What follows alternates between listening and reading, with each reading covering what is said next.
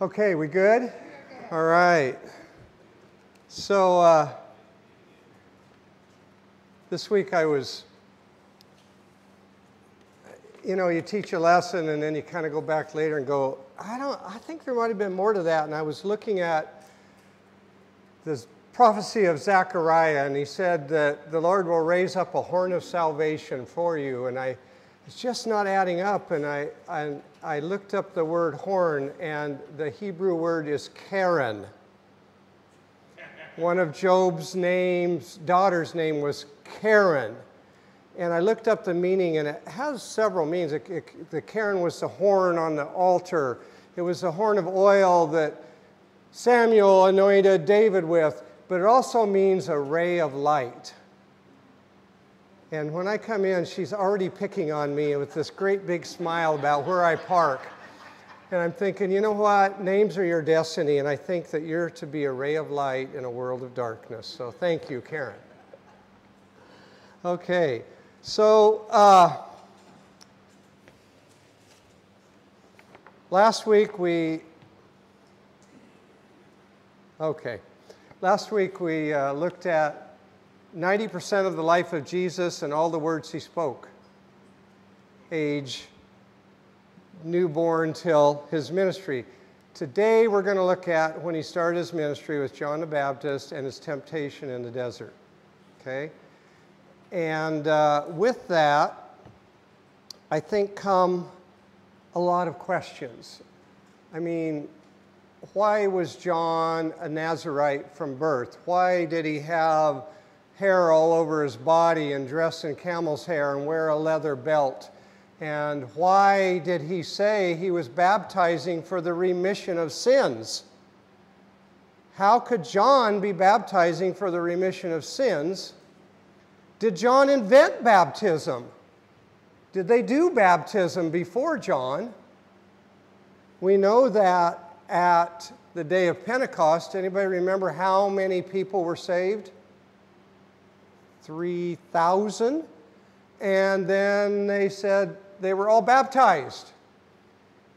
Last year, Foothills Church baptized 45 people in the Molalla River, and they had two pastors baptizing and people helping the people in and out to speed up the process. And it still took one and a half hours. Average three minutes for them to come into the water, confess their faith, and be baptized and leave the water. So if you want to do the math, on the day of Pentecost, it took 150 hours to baptize 3,000 people, six and a quarter days. How was that possible? Are we missing something? Is there something going on here? And so we find John. Why was he in the wilderness? Why not at the temple telling the people about Messiah? What was he doing out there? Why was he at Bethany beyond the Jordan? There's a lot of places he could baptize. He did baptize in three different places. Um, but this particular time, he's at Bethany beyond the Jordan. Why that spot? Remember, I've told you, by the way, Jurgen made some really strong coffee, and I drank a cup of it before the sermon, so we're really going to get with it today. You need to blame Marion on that. So, why Bethany beyond the Jordan? Why John? Why Jesus being baptized when he didn't need remission of sins? Why? Um, this is, there's no way to type. Why does this keep falling down? I have too much weight on it. We'll, we'll solve that. Or I'll be on my knees again. There we go. Why did the heavens break open and a spirit like dove come and, and, and land upon him? I think this is going to work. Oh, you're going to help me out. There we go. Thank you. Offload some. We got it. We need more here next week. No, just kidding. and then he came up out of the water, and this, this voice from heaven, did that ever happen? Was that the first time it ever happened? Who heard it? What did he say? Why did he say what he said? And then immediately he goes into the wilderness for 40 days. Why 40 days? Why the wilderness? Tempted by the devil. Why those three temptations? So it's okay to ask questions about Scripture. In fact, I'm finding a lot of times people avoid the Gospels. They're nice to read, you kind of get the surface, but it raises a lot of questions sometimes. So when you dig into the context and the culture and the geography, you start to understand some of the context. Okay. So I thought it was interesting. I was reading this uh, 100 year history of Canyon Creek Bible Fellowship. And right off it says that it was a September Saturday, 1914, and a pony driven cart was bouncing down the dusty road through the Clarks County on its way to Colton from Oregon City. The cart carried a man named J.O. Stats.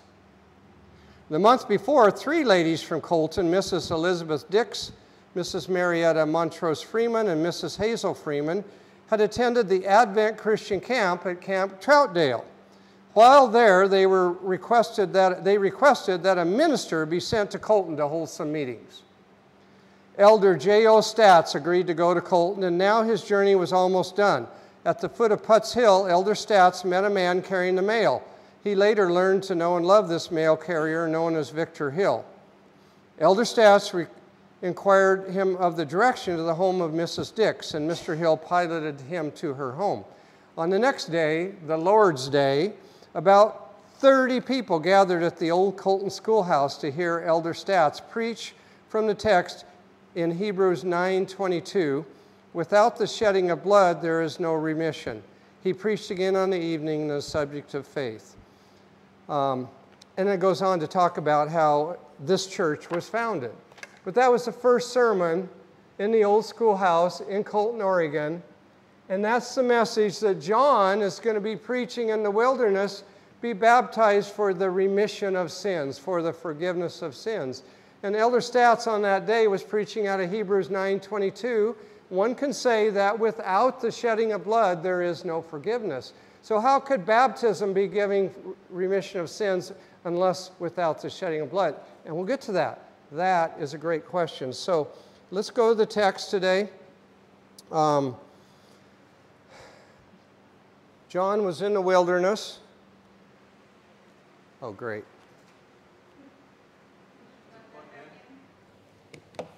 Da, da, da.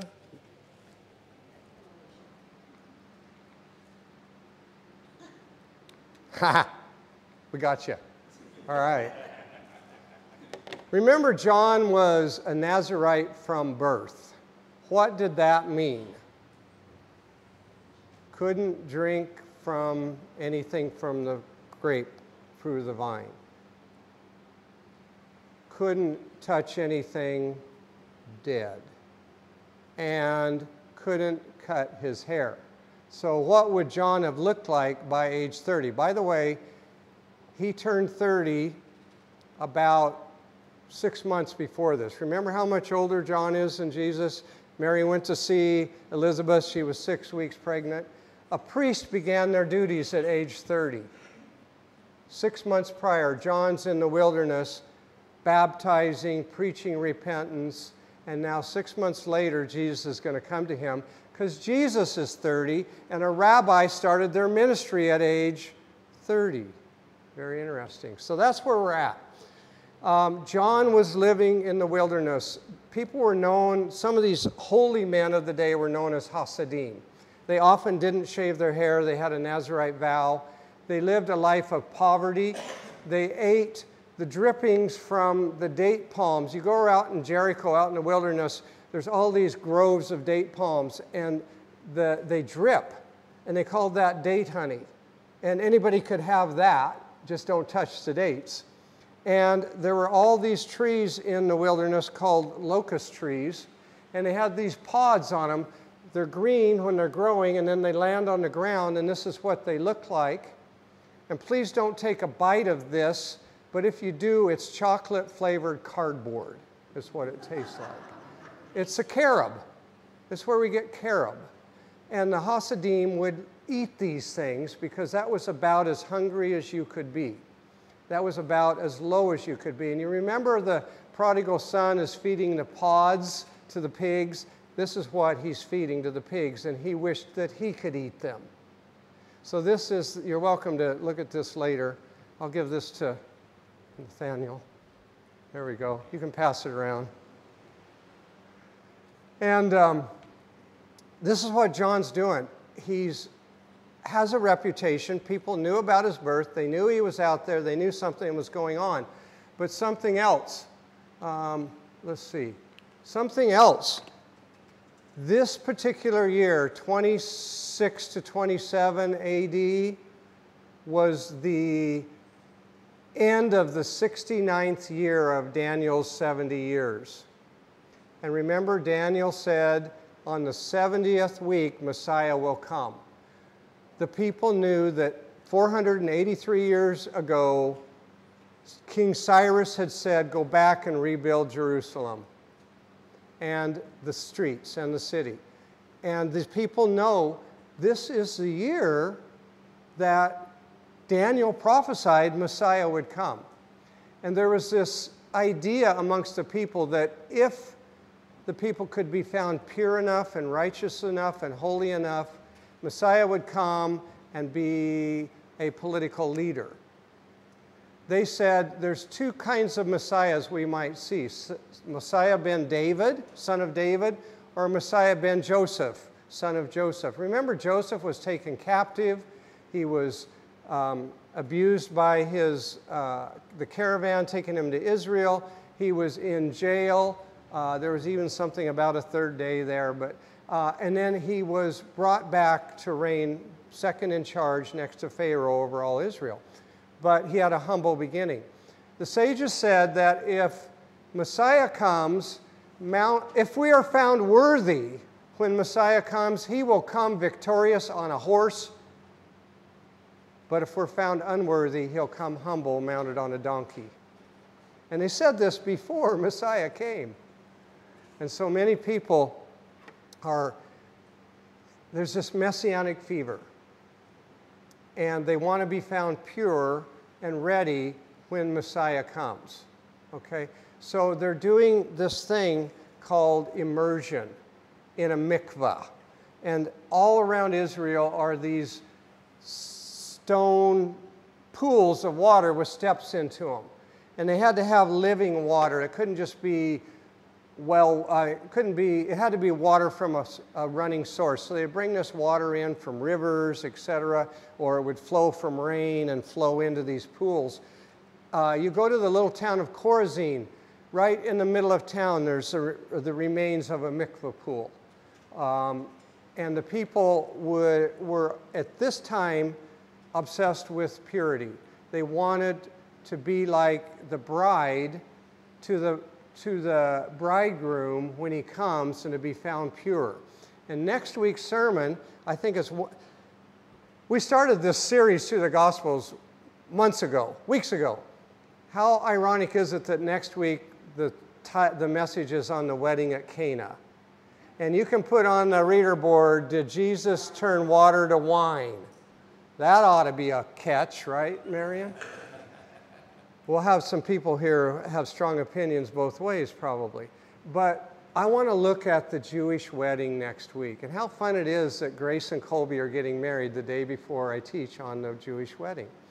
And John uh, calls himself the, the, the, um, the best man of the bridegroom and calls Jesus the bridegroom. We're going to look at that a little bit today, and it will continue that. It's ironic that John includes the miracle of wine to, water to wine in Cana right after he talks about John uh, coming and baptizing Jesus.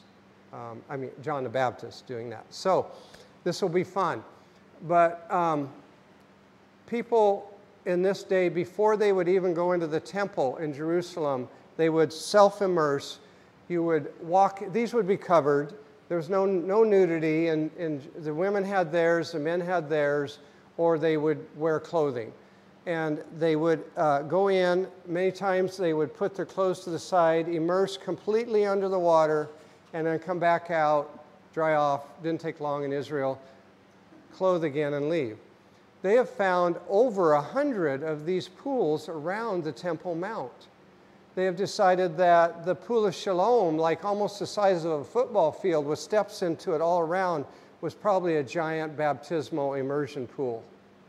Or maybe just wash hands and feet. I don't know what they did, but they had an idea that if they had had touched anything impure, um, possibly gotten impure in any way before they could go in the presence of God, they would self immerse. The bride before her wedding wanted to be pure for her bridegroom, and she would also immerse in a mikveh um, before the wedding. And we'll talk about that next week. But if they think there was probably at least 300 baptismal pools around um, the Temple Mount, Peter says, "Be baptized in the name of Jesus Christ." Poosh! Nine minutes or 30 minutes later, 3,000 people came back, all having been immersed in the name of Jesus at the command of Peter. The other thing that the mikveh pool was used for is if Jurgen decides, I want to convert to Judaism. He has to say that I am willing to be a son of the commandment and do my best to follow every one of the commandments. And then he has to immerse in a mikveh pool. And it was said that this is symbolic of dying and being buried and being resurrected. And they believed that when you, a, a Gentile went into the mikveh pool, he died and he came out genetically a son of Abraham. And so this was used for conversion to Judaism. Do you see why Nicodemus, and, and it was said that he was born again. Did you think we invented born again? Do you remember? And we're going to study that in two weeks. Nicodemus said, Jesus said, You have to be born again. And Nicodemus said, You must mean enter my mother's womb because my father is already Abraham. I don't need to do this. I don't need to convert. And Jesus said, Yeah, you need to be born again again. So we're going to, this idea of immersion didn't start with John, and born again didn't start with us. And, and there's a lot of culture here. So John is wading into the river in Jordan, and people are coming to him. Uh, let's read, let's go to Mark chapter 1. And let's just read. I picked Mark because it's the shortest. There's um, Matthew 3 and 4 have the story, Luke 3 and 4 have the story, and John 1 has the story. Um, but Mark, let's start reading at verse 1. This is, the, remember that Genesis starts out with the word the genealogy of, or the origin of, or the genesis of. John says, in the beginning, Bereshit, the beginning. Mark says right here, the beginning of the gospel of Jesus Messiah, Son of God. As it is written in Isaiah the prophet, Behold, I send my messenger before your face, who will repair, prepare your way. The voice of one crying in the wilderness, Make ready the way of the Lord, make his paths straight. They believed that Elijah went to heaven in a chariot of fire and he would return to introduce the Messiah. So they were expecting Elijah. They're expecting the Messiah to come this year, but before the Messiah comes, Elijah has to come. And how would you recognize Elijah if he came? Um, Samuel, uh, or 2 Kings 1 8 says, the, the, uh, the king said, How do you know it was Elijah? Well, we know it was Elijah because he was a hairy man with a leather girdle bound about his loins. And the king said, That's Elijah. So you might get a clue if John's wearing camel's coat or camel's hair garment and he's hairy and he's got a leather belt and he's in the wilderness and, G- and, and the prophecy to Zechariah was he will be like Elijah. And Jesus said, if you care to believe it, John was Elijah. And so people are see, identifying John as Elijah in the desert. And they're coming out not for forgiveness of their sins necessarily at that moment, but for purity reasons, to be ready so that Messiah can come. Because Messiah is going to come, and we want to be ready, and we want to be pure, and we want to be without sin. And I believe that when John was baptizing for remission of sins, he was baptizing to prepare people for the coming of the Messiah who would shed his blood, who would give, that would give remission of sins. So um, I, think that's, I think that's what John was talking about. We'll look at that a little bit more. Okay, going on. John the Immerser, the baptizer, the Baptist, appeared in the wilderness, preaching a baptism of repentance for the forgiveness of sins. And all the country of Judea was going out to where he was, along with all the people of Jerusalem. And they were being immersed by John in the Jordan River, confessing their sins. And John was wearing a, a camel's hair and a leather belt around his waist, and he ate mostly locusts and wild honey. And he was preaching and saying, After me is one coming who is mightier than I, and I am not even fit to kneel down and untie the lace of his sandals. I have immersed in water, but he will immerse in the Holy Spirit. Now, at this time, Jesus came from Nazareth in Galilee and was immersed by John in the Jordan. And immediately, coming up out of the water, he saw the heavens split open, and the Spirit, like a dove, was descending upon him. And a voice from heaven said, You are my Son, whom I love, and you I am well pleased. And immediately the Spirit directed him to go in the wilderness, and he was in the wilderness forty days, being tempted by the accuser and he was with wild beasts and angels were, and angels were ministering to him. There is so much to unpack here. So much that John's setting the stage for. Um, we have people coming. The other versions go into John turns to the Pharisees and says, You brood of vipers, why are you coming to me?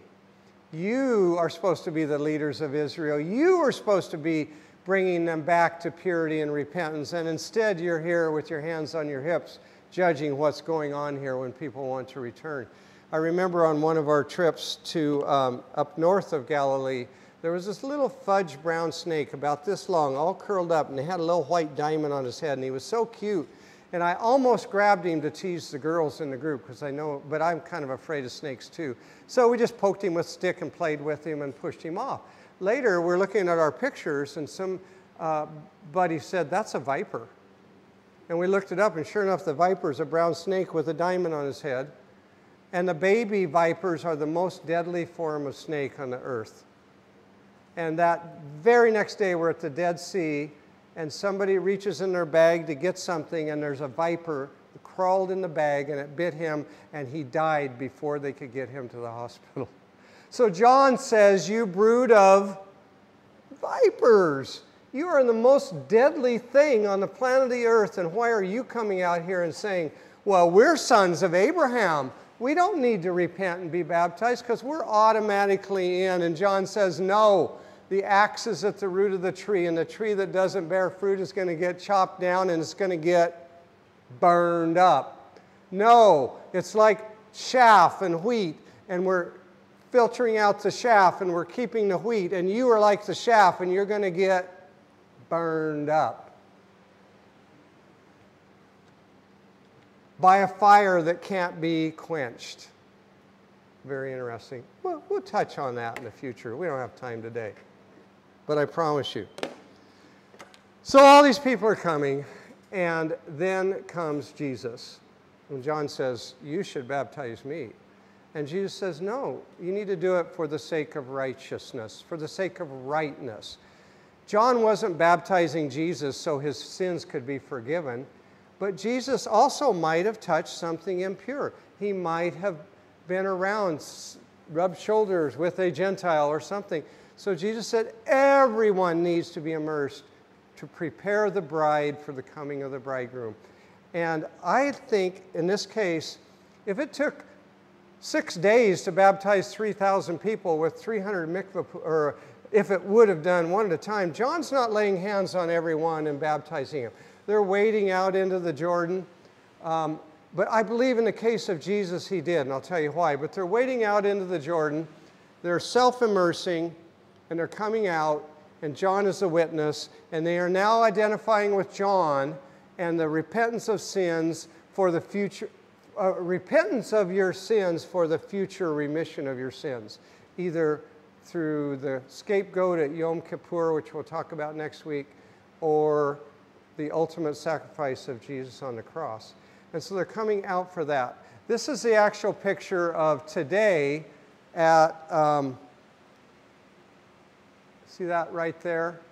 That's Jordan. See that right there? That's Israel. They are that close together, the country of Jordan, the country of Israel. This is Bethany, the house of the poor, beyond the Jordan. You go across the Jordan. The Jordan had all these tributaries that went out, and there were mikvah pools around those pools. In the days of Jesus, this was a much bigger river. It was clear, it was pristine, it was beautiful because they weren't pumping all the water out and letting it drain back off the fields into the Jordan. By the time you get there today, the most I would do is put my feet in, and even my guide said, I don't think I would do that. And yet I'm sitting right there on that little bench by myself, and intercoming busloads after busloads after busloads on the Israel side. And people are getting out in their white gowns and they're walking down these steps and they're emerging, and the pastors are baptizing them.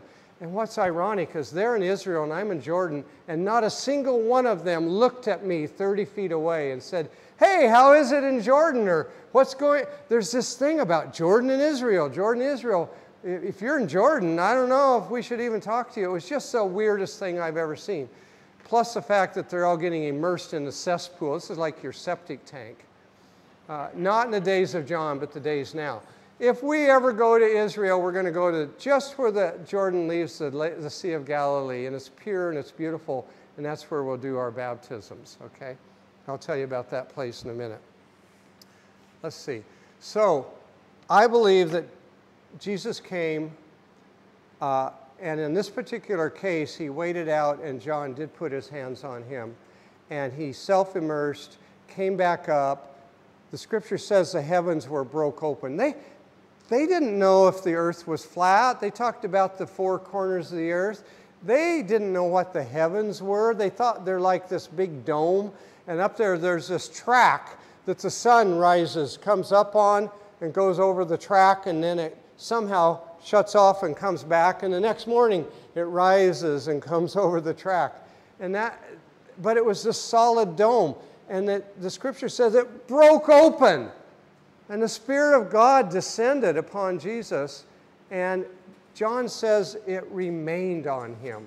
And that is such an important verse because we're talking about who Jesus was. Did, was he born deity? Did he make birds out of mud and they would fly away? Or was he human because God, he, want, he, he was willing to abandon his deity to become like us and be tempted in every way? But on this occasion, the Spirit of God descended upon him and remained upon him. Um, the, the Isaiah if I can find it, said,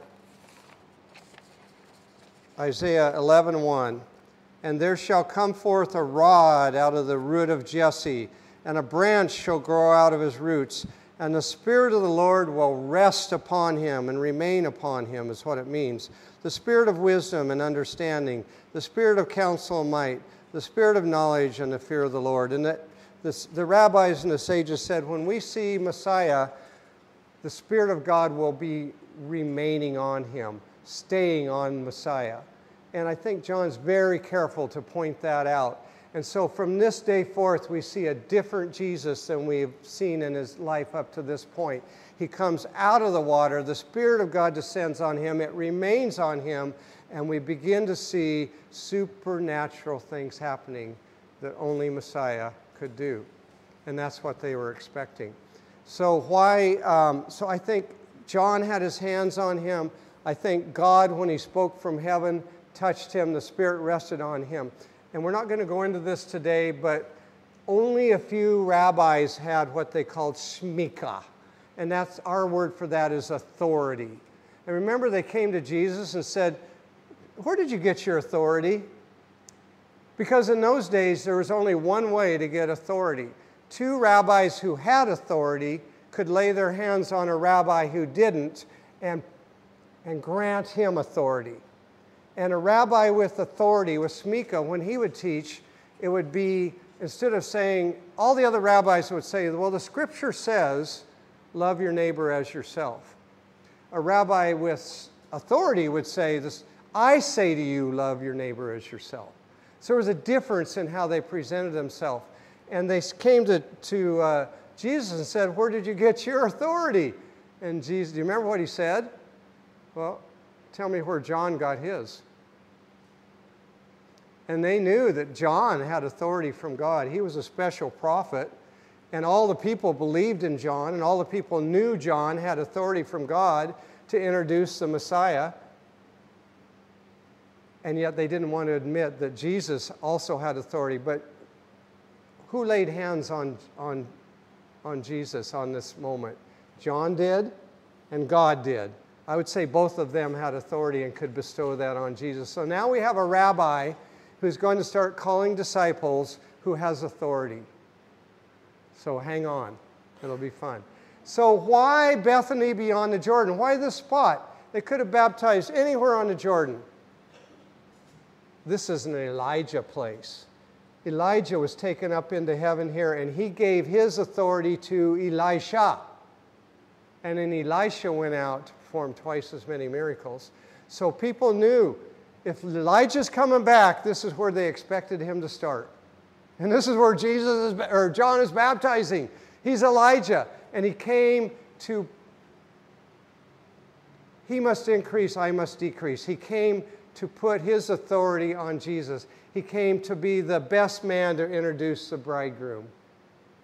And that's exactly what's happening in this place. Okay, so too much.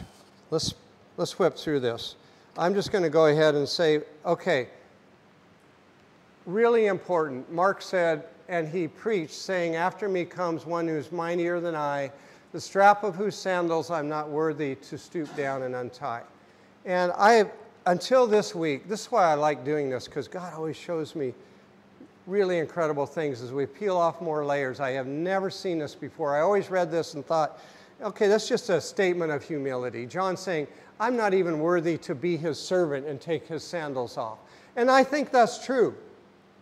But why each of the Gospels included this statement, including John. And John doesn't have much that's in the other Gospels, but he had this statement. And Paul includes it in his, one of his sermons in Acts 13. Well, it turns out that if you, if you research the removal of sandal, it had to do with the Redeemer the kinsman redeemer. If a wife lost her husband, it was expected that the next of kin would be her redeemer. He would come and take care of her and be her husband and raise up children so that her name could go on. And Deuteronomy 28, it says, if you're not willing to do that, then take off your sandal. If you're going to give up that authority. And then we remember in Ruth chapter 4, Boaz goes to the one who had the right to be the redeemer of Ruth, and he says, I can't do it. And it, Boaz says, Well, take off your sandal then, or removed his sandal. And Boaz became the bridegroom of Ruth and redeemed her.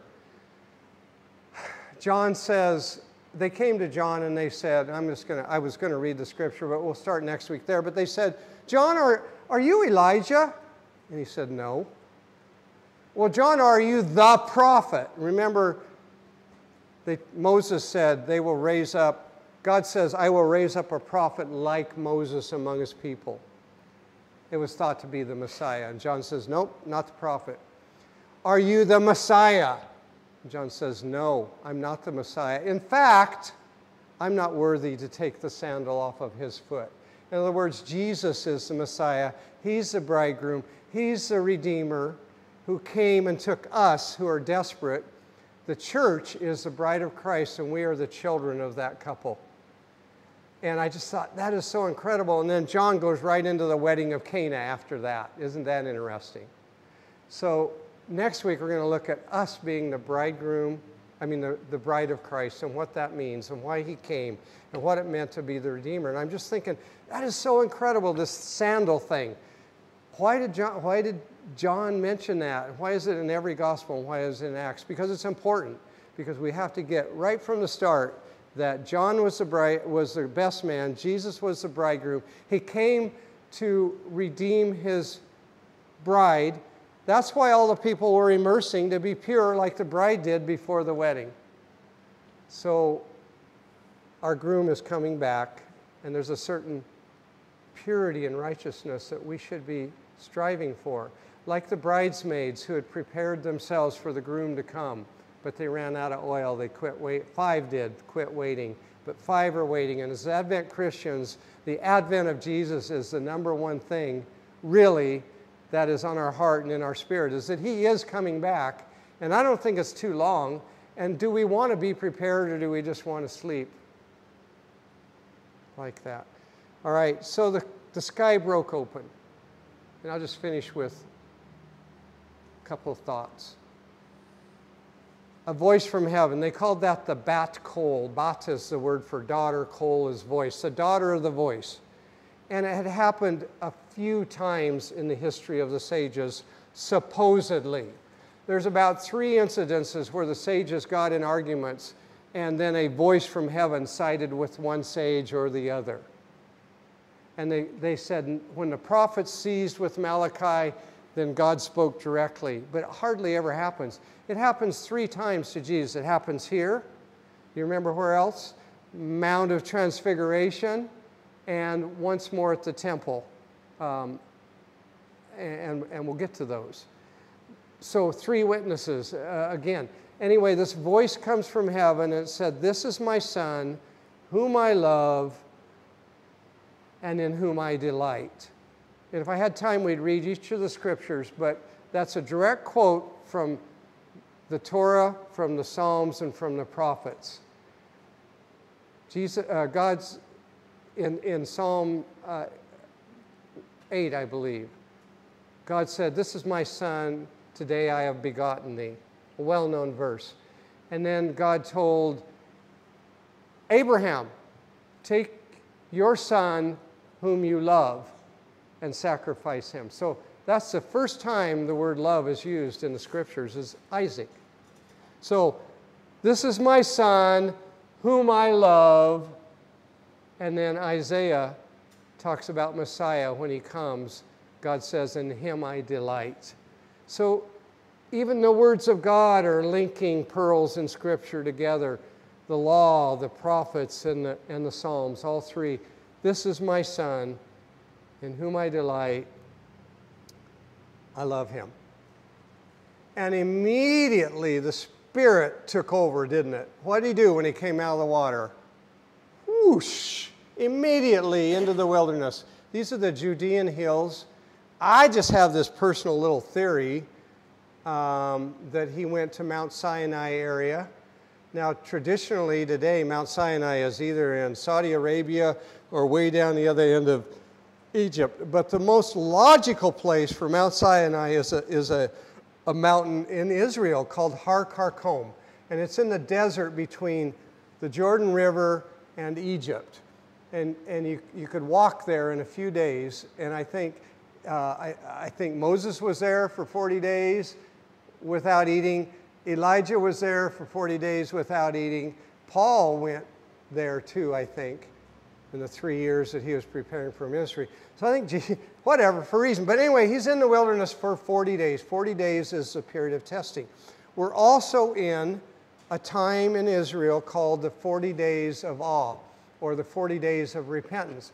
All the people spent 40 days getting their life in order. If I remembered that I had something against Jurgen or he had something against me or Larry, I had, in those 40 days, I had to go take care of that because at the end of 40 days is Yom Kippur. And Yom Kippur is when the, scape, the goats, one sacrificed and the other one the sins are put on, and he's taken out of the wilderness to take the sins away at the end of 40 days. And if you had repented and if you're, you were right with God, then your name could be written once again in the book of life for yet another year. And so we're in this 40 days. Jesus gets baptized on the first day of this repentance period. Of course, people are coming to John. And he comes out, and thousands watch him, and he immediately goes into the wilderness. And there he's tempted by Satan. And I think this is the worst temptation that Satan ever leashed on mankind of any way. Daniel talked about the angel came and said, I tried to come to you, but Satan, uh, the prince of Persia, resisted me, and it took all these days for me to get to you but I'm here now. And I think Satan unleashed everything on, the, on Messiah because he's starting to see what's going on here. And he's going to first try to attack Messiah, and then he'll attack the leadership to not believe in him and not accept him. And he's very successful at that. But that's lessons away. So he gets tempted in three ways. He says, um, took him up on a high mountain and showed him all the nations of the, land, of the world. Well, this is like Moses. God took Moses, the first Redeemer, up and showed him everything. He said, But you don't get to go. Now, Jesus, I think, maybe is up on Mount Nebo, and somehow miraculously he sees all the nations of the world. And Satan says, I own these. I'm in charge of these nations, but I can give them to you. But Jesus knows that's a lie, and he, he counters that with Scripture. And then Satan takes him to the top of the temple, 160 feet up. Jump off. The Lord your God says in the Scripture, He will give His angels charge over you, and they will catch you. And Jesus says, not to put the Lord your God to a test. And then, after 40 days, he's really, really hungry. And if this is the 40th day of the, of the repentance, it's Yom Kippur. And Yom Kippur is the only mandated fast day in Israel. No man, woman, or child is eating anything on this day. And Satan says, Ah, turn these rocks to, to bread. And he says, Man shouldn't live by bread alone, but by every word that proceeds from the mouth of God. And Satan left him, and angels ministered to him and fed. Uh, and then after the, the 40 days, he ate and he was strengthened and he began his ministry. And that's where we're going to take up next week. But the Holy Spirit is on him, remains upon him, and he's coming for his bride. And we need to be ready and we need to be excited. And that's what I have today. So you are it, we are it, and we're all in this together. And Lord, come quickly. Lord, I just want to pray for all of us here that this word will take seed in our heart, that we will just rejoice in being chosen by you, that you kept your sandal on, and you are our Redeemer, and you came for us, and you redeemed us, and you bought us with your blood, and you're coming back for us. And we praise you. We ask for your extra portion of your Holy Spirit to be upon us this week, to be light to the world, to be a ray of sunshine, um, to glorify you in all we do. And we pray this in Jesus' name. Amen.